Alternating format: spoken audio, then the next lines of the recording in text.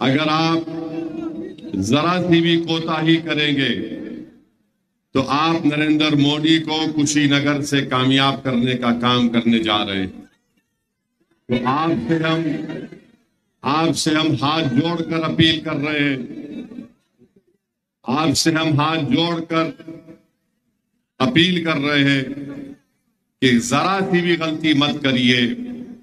आप अपना वोट का इस्तेमाल मेरे बड़े भाई स्वामी प्रसाद मौर्या के हक में करिए। गन्ना निशान, गन्ना किसान उनका निशान है। मेरी आपसे गुजारिश है, आप इतनी बड़ी तादाद में यहाँ पर आए हैं। हम ये चाहते हैं कि आपको एक पैगाम दिया जाए।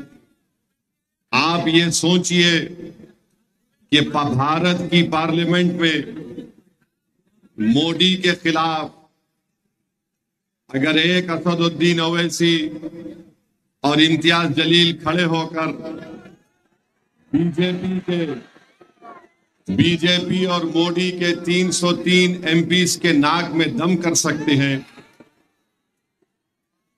तो अगर कुशीनगर की जनता, सुनिए, अगर, या तो आप बोलेंगे, हम बोलेंगे फिर।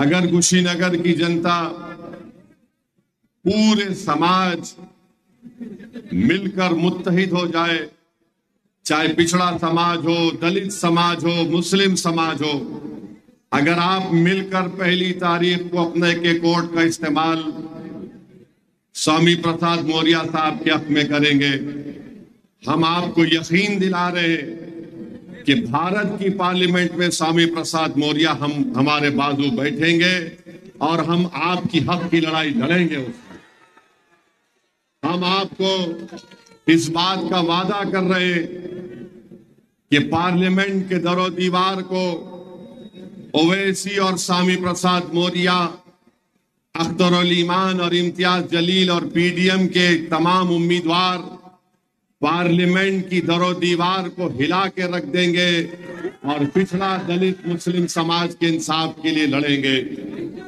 आप इस बात को जान लीजिए, इस बात को जान लीजिए कि अगर कुशीनगर से आरएसएस को कोई हरा सकता है, हिंदुत्वा हिंदुत्वा की आइडियोलॉजी को कोई हरा सकता है तो ना समाजवादी का प्रत्याशी कर सकता है ना कोई और कर सकता है। उसका नाम स्वामी प्रसाद मौर्या है।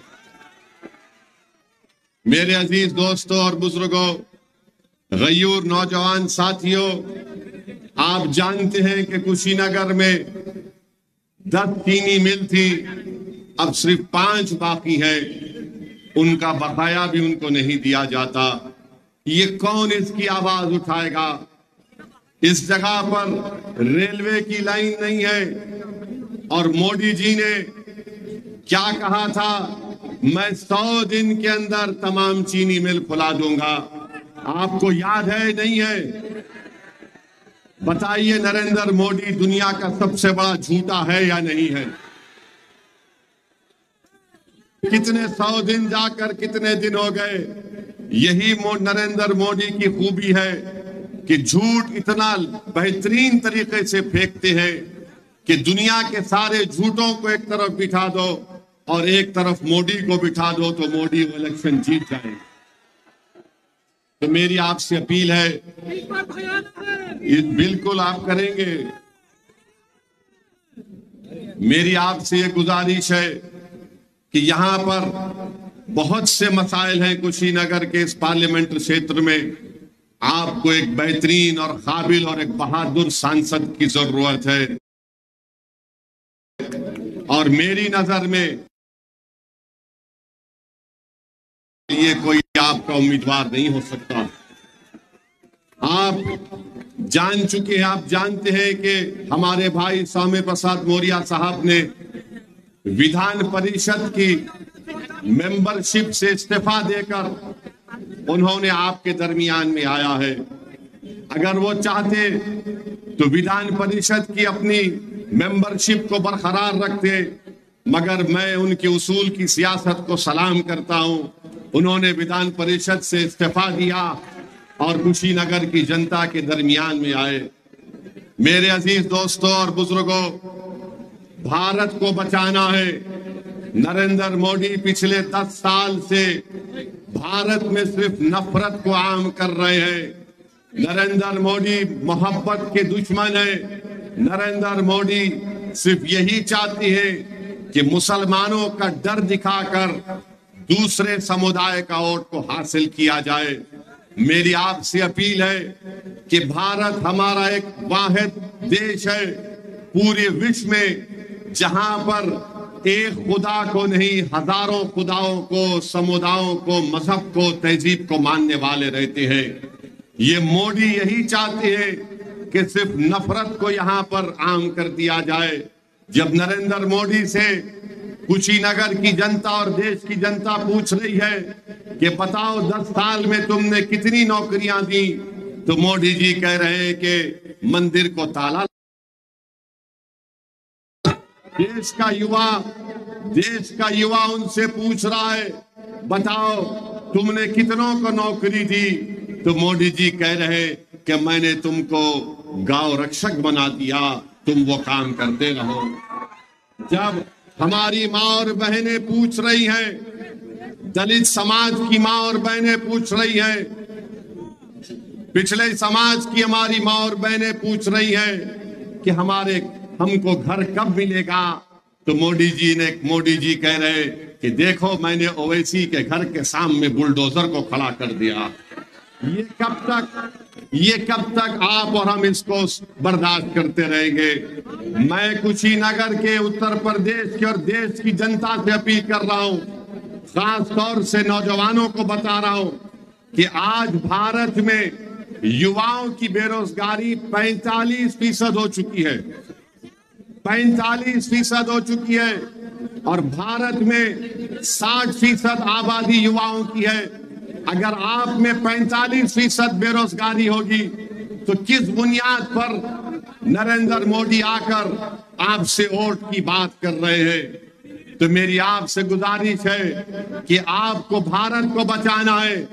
और अगर कोई ये समझ रहा है कि स्वामी प्रसाद मौर्य से हटकर वो जो इंडिया अलायंस है, हम उनको वोट देंगे। अरे कितने बार आप वोट देंगे उनको? 2014 में आपने अखिलेश को वोट दिया। क्या बीजेपी को हरा पाए? नहीं हरा पाए। 2017 में आपने वोट दिया। नहीं हरा पाए। 2019 में वोट दिया। नहीं हरा पाए। 2022 में आपने वोट दिया। नहीं हरा पाए। अब फिर आकर कह रहे हैं कि भैया के नाम पे जवानी कुर्बान कर दो। दरी बिछाओ। मैं आपसे कह रहा हूँ कि अब दरी नहीं बिछाना, जवानी को कुर्बान नहीं करना। अब स्वामी प्रसाद यादव के लिए हमको स्वामी प्रसाद, हमारे मौर्य के लिए हमको मेहनत करना है। तो मेरी आपसे गुजारिश है मेरे भाई, कि मेरी इन बातों पर गौर करिए। जब तक आप सिर्फ़ बीजेपी को हराना ज़रूरी है, मगर आपने चौदह में वोट दिया, सत्रह में दिया, उन्नीस में दिया बाईस में दिया, बताइए क्या हासिल किया? समाजवादी बीजेपी को नहीं हरा सकती। अखिलेश यादव और नरेंद्र भाई, ए भाई, रुक जाइए ए भाई ए भाई ए भाई, ए छोड़ दीजिए ना, आप रुक जाइए, ठहरिए ना तकलीफ़ मत, रुक जाइए। रुक जाइए कुछ नहीं होगा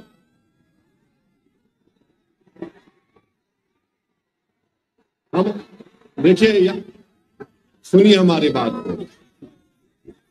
सुनिए सुनिए, अगर आप बोलेंगे तो हम खामोश बैठ जाएँगे। हम आपको ये बताना चाह रहे हैं कि आपने कितने मर्तबा वोट दिया तब भी अखिलेश यादव बीजेपी को नहीं हरा सकते। इस बार भी नहीं हरा सकते, हम बता रहे हैं आपको। आप स्वामी प्रसाद साहब मौर्य साहब का साथ दीजिए। कुशीनगर से हमको मोदी को हराना है। स्वामी प्रसाद मौर्य साहब का मुकाबला अखिलेश यादव से नहीं है, नरेंद्र मोदी से उनका मुकाबला। आप देखते हैं कि समाजवादी पार्टी ने अपने परिवार के पाँच लोगों को इलेक्शन लड़ा रहे हैं।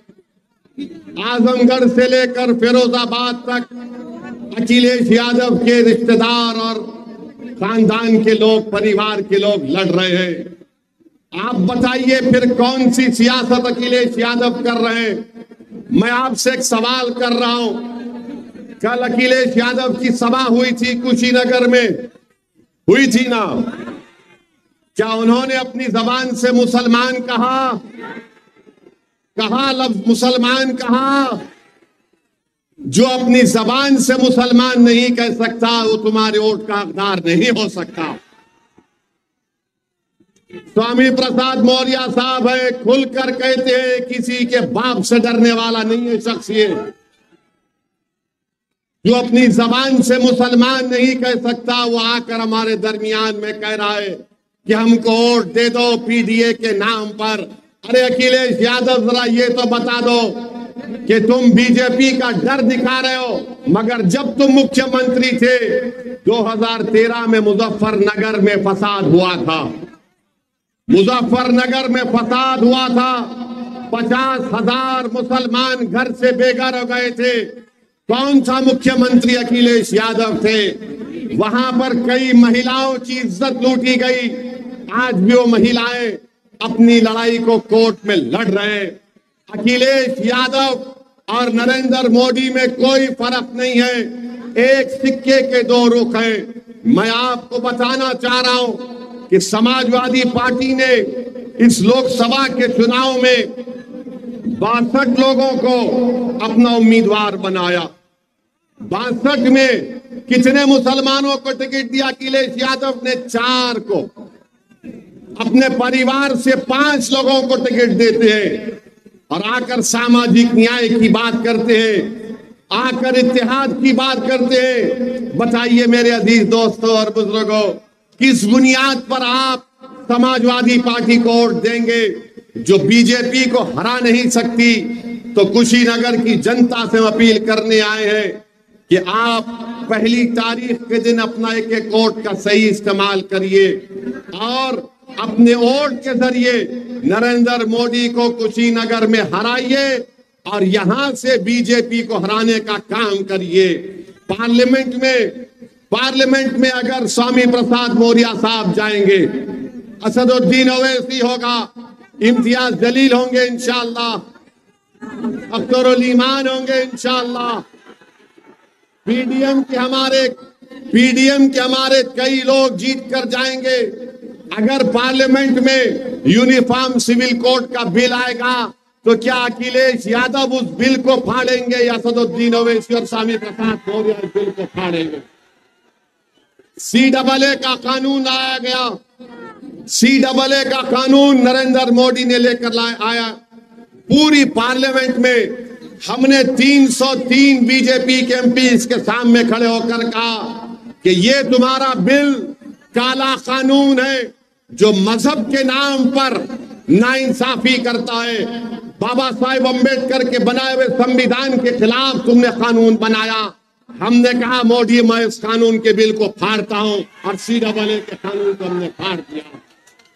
बताओ जब सी डबल ए कानून पर एहतजाज हो रहा था उत्तर प्रदेश में, लखनऊ में, तुमने अखिलेश यादव को देखा वहाँ पर? मगर आज बड़ी बड़ी बातें करते हैं। चुनाव आ गया तो आकर कहते हैं कि हम आपके दरमियान में थे और रहेंगे। मेरे अज़ीज़ दोस्तों और बुज़ुर्गों, ट्रिपल तलाक का गलत कानून नरेंद्र मोदी ने बनाया। तीन तीन मरतबा मैंने पार्लियामेंट में उस कानून की मुखालिफत की। संविधान की दलाइल देकर उस कानून को मुस्लिम महिला के खिलाफ बताया। बताओ समाजवादी पार्टी का क्या कहना है? क्या समाजवादी पार्टी कभी बोलती है सीधे डबल कानून पर? क्या समाजवादी पार्टी बोलती है ट्रिपल तलाक पर? क्या समाजवादी पार्टी कभी अतीक के कत्ल की बात करती है? कौन बात की अतीक को जब मार दिया गया था? असदुद्दीन अवैसी ने बात की। इसीलिए आपसे अपील कर रहे हैं कि दोस्त को और दुश्मन को पहचानिए। स्वामी प्रसाद मौर्य आपके लिए मर मिटने के लिए तैयार है।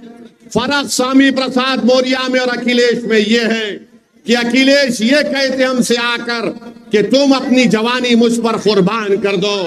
तुम जान दे दो। स्वामी प्रसाद मौर्य, पल्लवी पटेल और ओवैसी कहता है कि हम पहले मरेंगे, तुम पर आ जाने से पहले। ये हमारा आपको पैगाम तो मेरे इज्जतदार माँ और बहनों से मेरी अपील है कि एक तारीख के दिन गन्ना किसान के निशान पर बटन दबाइए। अब आप जानते हैं कि भारत के प्रधानमंत्री आजकल क्या क्या अनाप शनाप कह रहे हैं।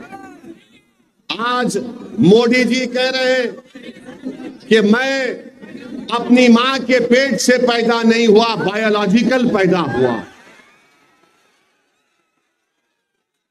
हम पूछना चाहते हैं, उत्तर प्रदेश के मुख्यमंत्री से, बाबा से कि बाबा, आप मोदी की बात से मुतफिक हैं कि ये बायोलॉजिकल नहीं पैदा हुए। आप बताइए, मोदी जी क्या क्या बातें कर रहे हैं? क्या क्या कह रहे हैं? और कह रहे हैं कि ऊपर वाले ने उनको एक मकसद के तहत यहाँ पर भिजाया है। मोदी, तुमने भारत के युवाओं के मुकद्दर को बर्बाद कर दिया।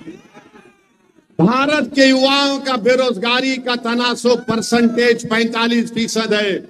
और मोदी जी कह रहे कि मैं बायोलॉजिकल पैदा नहीं हुआ। आप अंदाज़ा लगाइए, मोदी जी कहते हैं कि भारत के सत्रह करोड़ मुसलमान घुसपैठी है। आप घुसपैठी हैं? कितने घुसपैठी नहीं हाथ उठाओ? मोदी जी बोल रहे हैं कि घुसपैठी है। और मोदी जी बोलते हैं कि मुस्लिम महिलाएँ ज़्यादा बच्चे पैदा कर रही हैं। मोदी जी, आप भूल गए कि आपके पप्पा ने छह बच्चों को पैदा किया अमित शाह की छह बहनें हैं और आरएसएस वाले जो ज़िंदगी में शादी नहीं करते या करते नहीं मालूम, उनकी ज़िंदगी जरा गड़बड़ रहती है। गोलवालकर के ग्यारह भाई बहन थे। और आज मोदी जी बोलते हैं कि बच्चे ज़्यादा पैदा कर रहे हैं। मोदी जी कहते हैं कि जुमे के दिन झारखंड में छुट्टी दी जा रही है। संडे ईसाइयों का दिन है। अब क्या मुसलमान, हिंदू और ईसाई से लड़ेंगे? मोदी जी, हमारी लड़ाई किसी से मत नहीं है। ना हिंदू भाइयों से है, ना ईसाइयों से है, ना किसी से है। हमारी लड़ाई तुम्हारी गंदी सोच से थी और है और रहेगी हम नफरत को खत्म करना चाहते हैं, हम हिस्सेदारी चाहते हैं, हम इज़्ज़त की ज़िंदगी गुजारना चाहते हैं। मेरे अज़ीज़ दोस्तों और बुज़ुर्गों, मेरे अज़ीज़ दोस्तों और बुज़ुर्गों, अब मोदी जी कह रहे हैं कि आरक्षण मुसलमानों का छीन लिया जाएगा। मोदी जी, क्या आप नहीं जानते कि जिस तेली समाज से आप आते हैं, उसी तेली समाज को गुजरात में मुसलमान जो है, आरक्षण मिलता है। मेरे भाई, आप ये भी जानते हैं कि मोदी जी मंगल पांडे की बात तो करते हैं कि पूर्वांचल का बेटा था, मगर मोदी जी, पूर्वांचल का बेटा मुख्तार अंसारी भी है। वो मुख्तार अंसारी, जिसने अंग्रेज़ों के खिलाफ अपना सब कुछ कुर्बान कर दिया, मगर मोदी जी मुख्तार अंसारी के बारे में बात नहीं करना चाहते। मेरी अज़ीज़ दोस्तों और बुज़ुर्गों, आरक्षण लेने की बात भारत के प्रधानमंत्री करते हैं। हम उनको बताना चाहते हैं कि उत्तर प्रदेश में अंसारी भाई, आप उनको 1950 का प्रेसिडेंशियल ऑर्डर खत्म क्यों नहीं करते? अंसारियों को रिज़र्व आरक्षण मिलता है काशगार को मिलता है, कसाब को मिलता है, कुरेशी को मिलता है। चाक को मिलता है, तेली मकीक को मिलता है, दर्जी को, इदरीसी को, मोची को, मोइन को, अंसार को, मंसूरी को, मुस्लिम कायस को, सबको मिलता है। मगर मोदी जी लड़ाने का काम कर रहे मोदी जी लड़ाने का काम कर रहे मोदी जी अब बस करो। कितना लड़ाओगे? कितना नफरत को आम करोगे? आज देश की जनता परेशान है। किसान परेशान है, घर की माँ और बहनें परेशान है महँगाई से तो अपनी नाकामियों को छुपाने के लिए नरेंद्र मोदी आज हिंदू मुस्लिम की नफरत की राजनीति कर रहे इस नफरत की राजनीति को अगर कोई खत्म कर सकता है तो पीडीएम कर सकता है। अखिलेश यादव सिर्फ़ परिवारवाद की सियासत करेंगे। अखिलेश यादव सिर्फ़ एक ही वाई की सियासत करते हैं। नाम तो लेते हैं एम वाई का, मगर पूरी राजनीति करते हैं वाई के नाम पर। मेरी आपसे गुजारिश है कि मुल्क के हालात बड़े गहरे हैं, खतरनाक भी है, और आप मोदी की फॉरेन पॉलिसी देखिए कि नेपाल एक मुल्क है नेपाल, जिसने अपनी करेंसी की नोट छापी। उस करेंसी की नोट में उसने भारत के इलाकों को ये शामिल कर लिया कह करके नेपाल का हिस्सा है। आप बताइए, नेपाल हमको आँखें दिखा रहा है। नेपाल हमको आँखें दिखा रहा है। और मोदी जी बोल रहे कि जाओ, अल्पसंख्यक समाज के पास जाकर मुजरा करो। मोदी जी, नेपाल आँखें दिखा रहा है। आप क्या भांगड़ा कर रहे थे नेपाल के सामने? चीन हमारी 2000 स्क्वायर किलोमीटर पर कब्जा कर कर बैठ गया। मोदी जी, क्या आप ब्रेक ब्रेक डांस कर रहे थे? मोदी जी, ये आपके गौ रक्षक गाय का नाम लेकर क्या क्या नहीं कर देते? हैं क्या आप उनके साथ भरतनाट्यम कर रहे थे?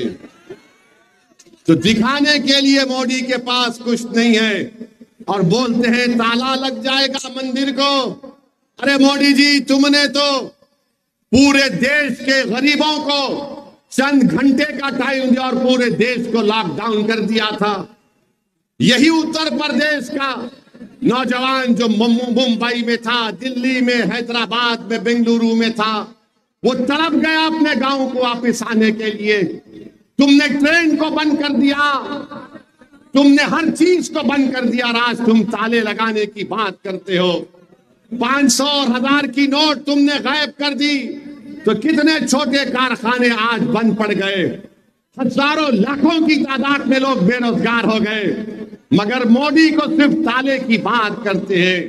मेरे भाइयों, बहनों, हम आपसे अपील कर रहे हैं कि 2014 में जब मोदी आए थे तो कहा था, मैं पंद्रह लाख दूँगा, मैं अच्छे दिन लेकर आऊँगा और कहा कि मैं चाय बेचने वाला हूँ।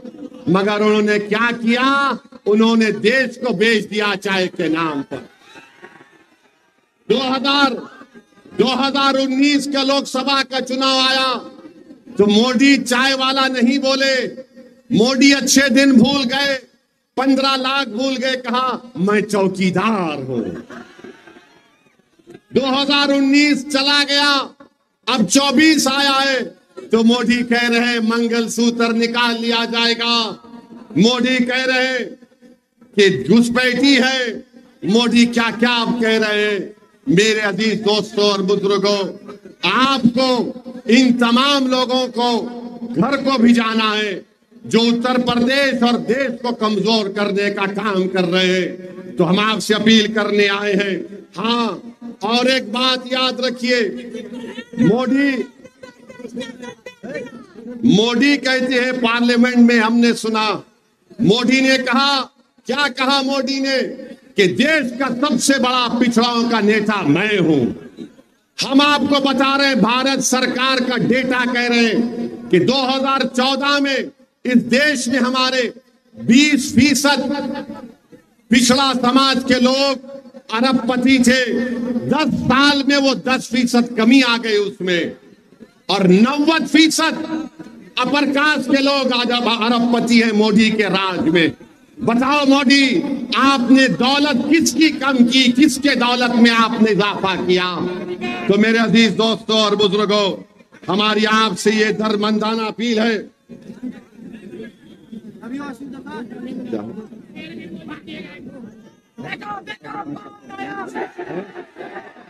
तो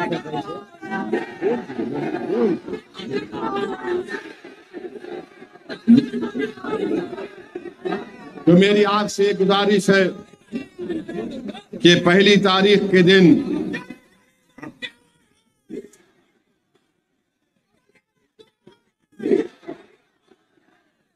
अभी आपने सुना, हमारी बहन पल्लवी पटेल ने कहा, स्वामी प्रसाद मौर्य साहब ने भी कहा कि मोदी जी कह रहे हैं कि हम आपको राशन देकर, राशन दे रहे हैं तो आप मुझे वोट देकर पुण्य का काम करिए। मोदी जी, ये देश तुमको दो मरतबा प्रधानमंत्री बनाकर तुमको दान दिया है। तुम मान सम्मान करो गरीबों का। आप अहंकार का शिकार हो चुके हैं और गरीबों की गुर्बत का मज़ाक उड़ाने का काम कर रहे बहरहाल मेरे अज़ीज़ दोस्तों और बुज़ुर्गों मैं आपका शुक्रिया भी अदा करता हूँ कि 2022 के विधानसभा के चुनाव में इस विधानसभा से आपने एम पार्टी के उम्मीदवार को भी वोट दिया।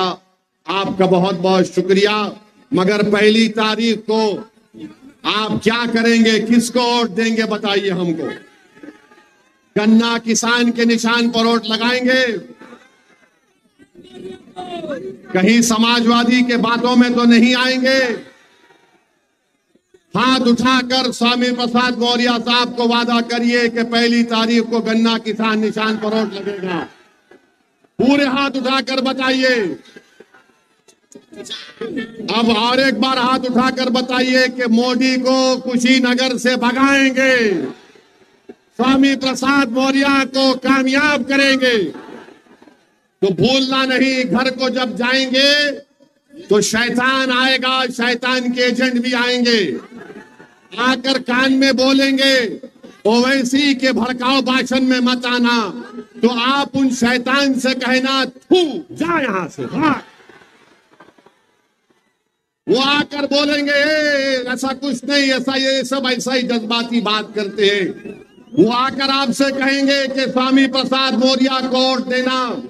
वोट को गड्ढे में डालने के बराबर है। तो उनसे कहना ये गड्ढा तुमने बनाया, हम इसको भरेंगे अपने ओर से ताला।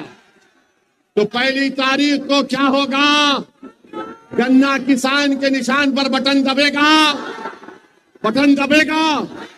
बटन दबेगा। तो हमारे साथ नारा लगाइए। नारे तकबीर। नारे तकबीर। हिंदुस्तान। भारत।